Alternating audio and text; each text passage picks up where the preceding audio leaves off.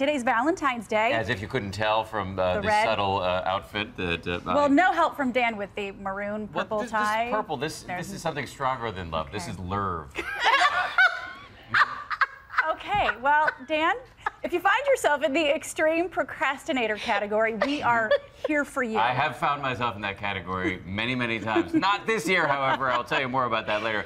Specifically today, Lindsey Janis, ABC's Lindsey Janis, is here for you. She joins us now from LA with some creative ways to have a great time and apparently avoid making it look like you threw it all together at the last minute. Lindsey, you are wearing uh, the color of love as opposed to the color of lurve. Take it away. I am indeed. Thanks, Dan. Hello, Paula. We all leave things to the last minute, but if you don't have a dinner reservation or a babysitter or even a gift, it really isn't too late to put something together and make it look like you've been planning it for weeks. It's Valentine's Day and love is in the air. But it may feel more like panic if you've waited until now to get your special someone that special something. trying to choose between chocolate and vanilla right now. Not to worry, we've got some last minute tips for your romantic survival. Marvin Velasquez of Super Date Planners, The Heart Bandits, says you don't even need obvious go tos like a trendy restaurant or a couple's massage to make your special someone feel whisked away. It's the morning of. What do you suggest? Get them pampered, get their nails done, their hair did. How can you make it look like you've planned this for weeks? Call ahead and arrange for there to be strawberries and champagne brought in. Ooh!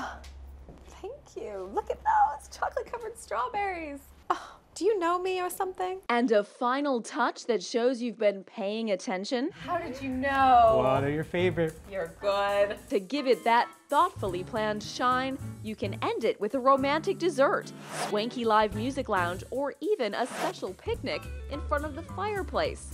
And don't rule out an impressive table for two. New apps Resy and Table 8 allow you to buy someone else's reservation at the hottest restaurants in town.